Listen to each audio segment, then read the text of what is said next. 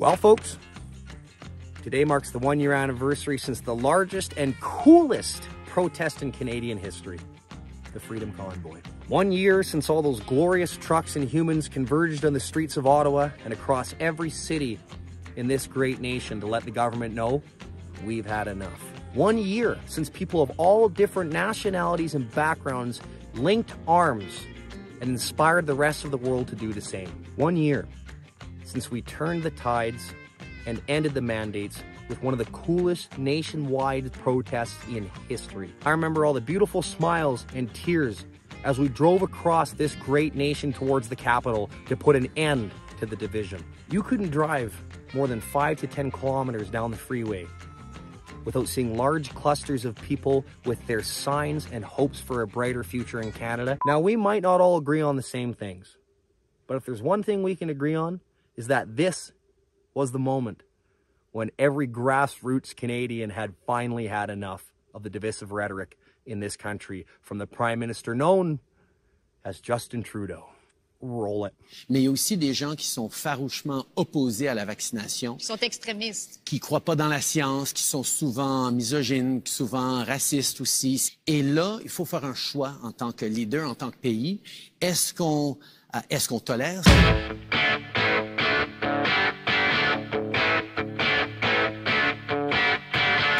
Ottawa police say they are preparing, but they don't know how many protesters might show up or how long they might stay, demanding the federal government reverse the vaccine mandate.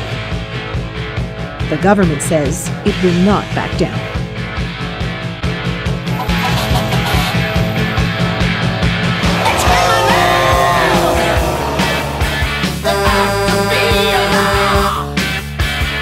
In terms of a leader as a country, do we tolerate these people? It's like tolerate, dude. Now you do sound like him.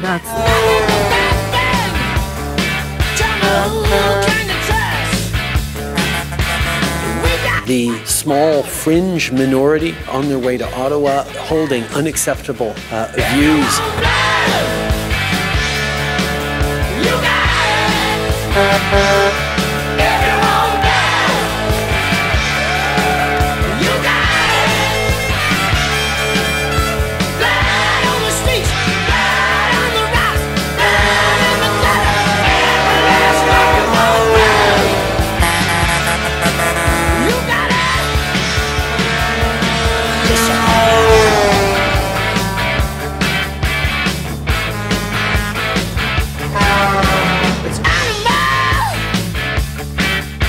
Canada's working class has finally rebelled after years of relentless abuse.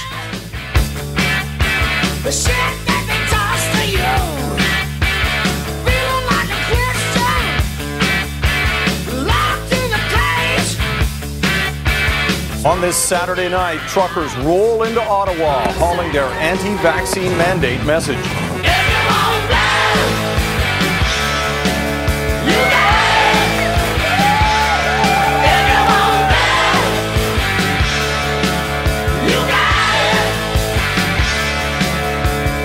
Minister has just tweeted that he has tested positive for COVID 19.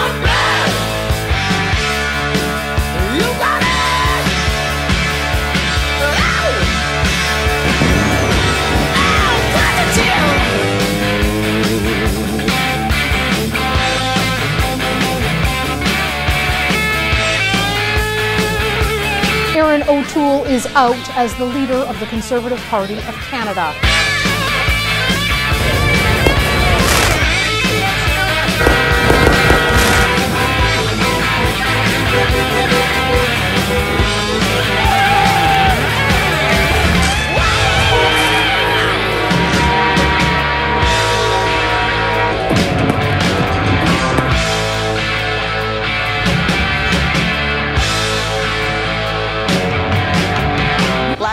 Jason Kenney, the Premier of Alberta, Canada, announced that vaccine passport requirements in the province are over, signaling a major win for the truckers' Freedom Convoy. As of midnight last night, Alberta has lifted basically all of the remaining public health restrictions that were in place.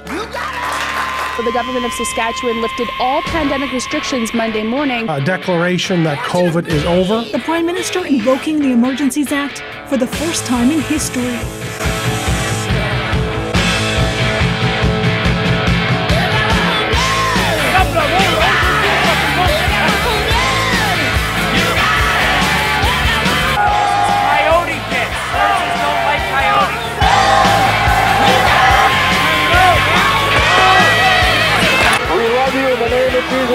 And we love your soul.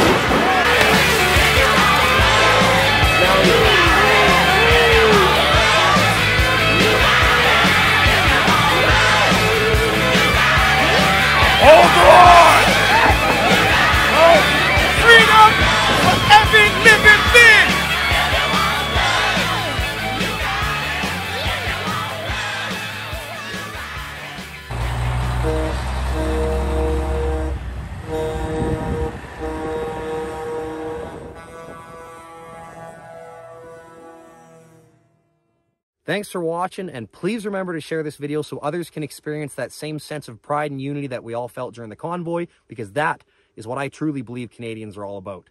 None of this divisive who's got a jab and who doesn't shit. right? Okay. Thanks, folks. Catch you in the next one.